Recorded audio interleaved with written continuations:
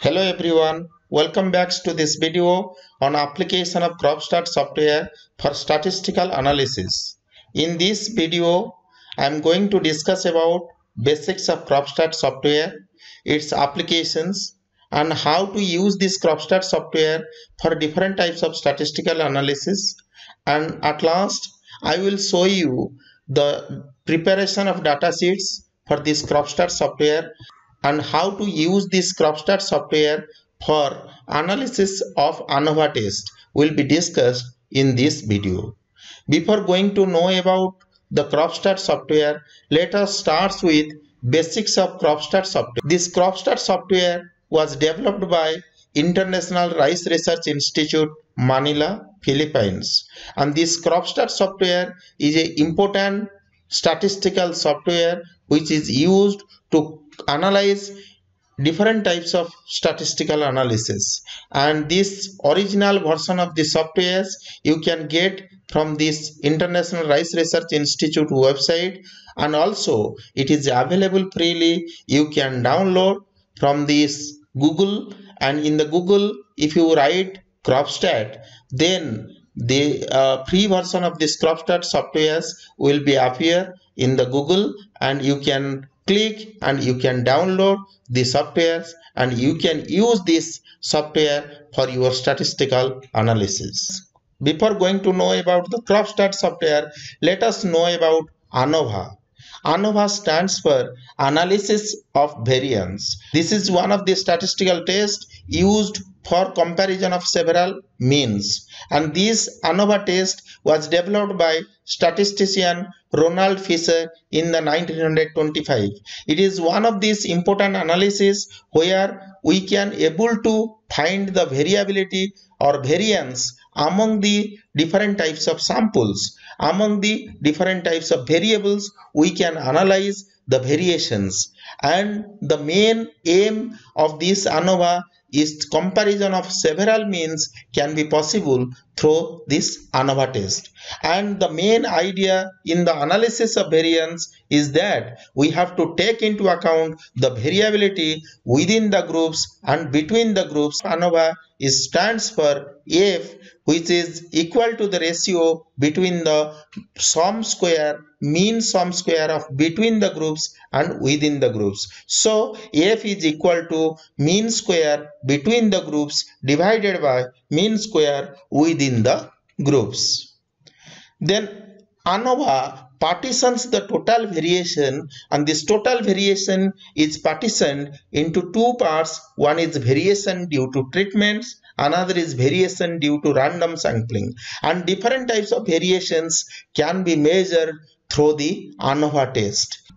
Let us see this is the standard ANOVA table and in this standard ANOVA table you can see the variation in different levels. Among the replications we can find the variations. Among the variety we can find the variation. Among the treatments we can also find the variation and also variation due to variety and treatment means also we can compare by the means of ANOVA test. And in this ANOVA table, this is DF stands for degree of freedoms and degree of freedom as you know degree of freedom is equal to the number of observation minus 1 that is known as degree of freedom. It also calculates the sum of square of different variations or different variabilities and mean square of different variability. Then it calculates the F ratio and probability level is required to test whether this F ratio or F value is significantly different or not. Let us discuss about the preparation of dataset for CropStat software.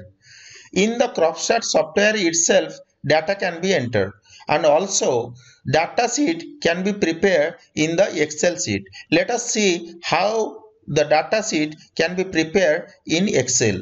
And in the Excel suppose this is the data sheet I have prepared for three varieties are there and the treatment level is 2 and replication is 2 number of observations is 2 and these are the different types of parameters. Yes. so first of all we have to arrange in the three levels we have to see the variations in the variety levels and in the treatment level and in the replications levels and in the so we have to prepare the data sheet like this variety v stands for variety.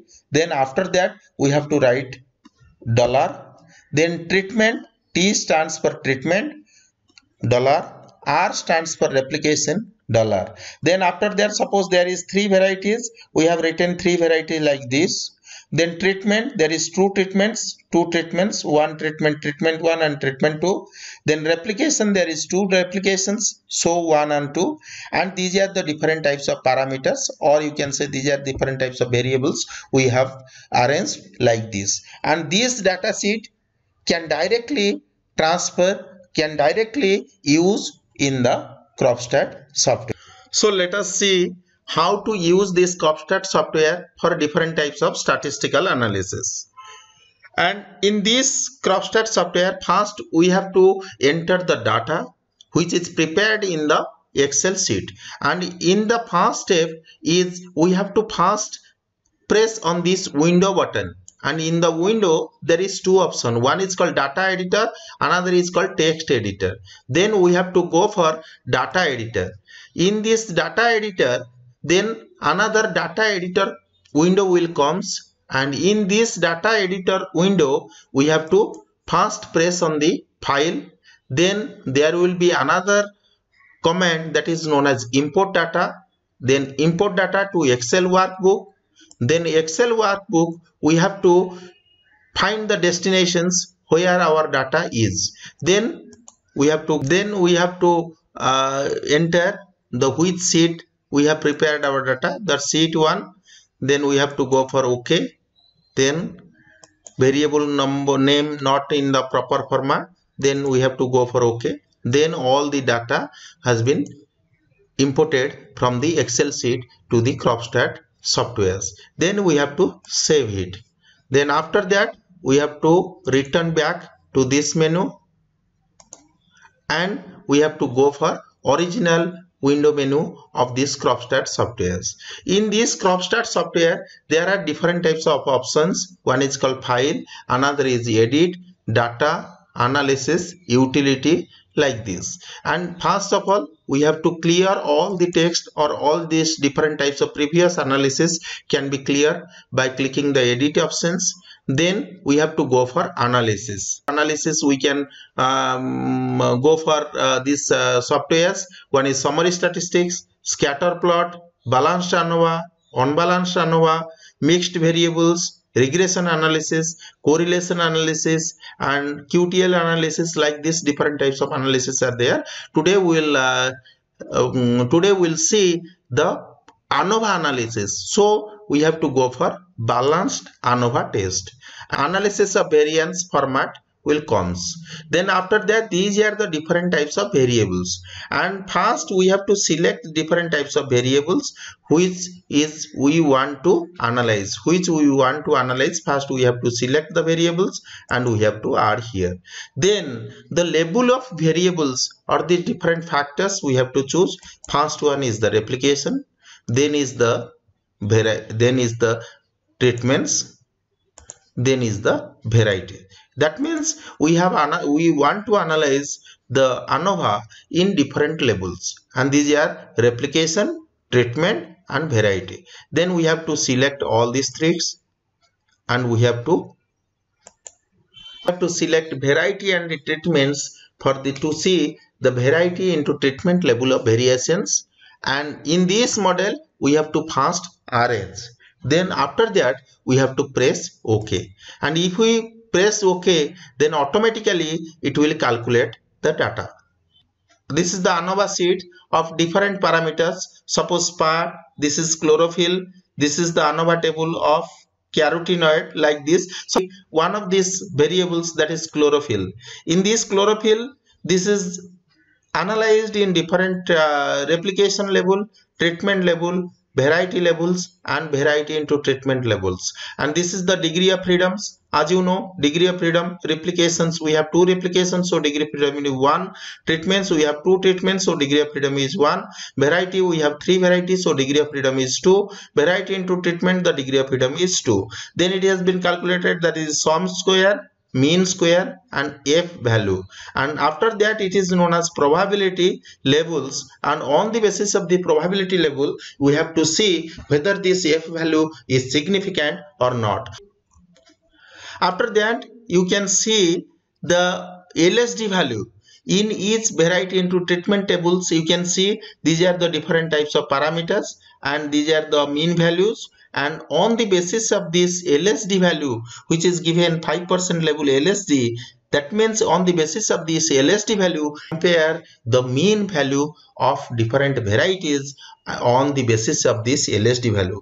If the difference is more than the LSD value then it is statistically significant. If it is less than the LSD value then it is not statistically significant.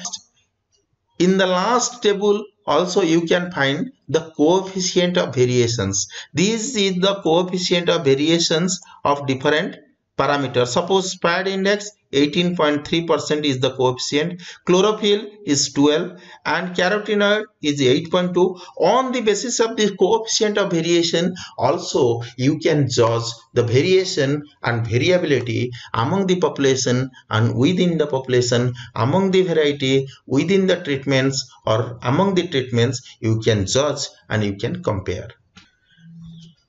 This is all about the analysis of variance test in the CropStat software and please don't forget to like, share and subscribe my YouTube channel. Thank you for watching my YouTube video. Thank you. Thank you all.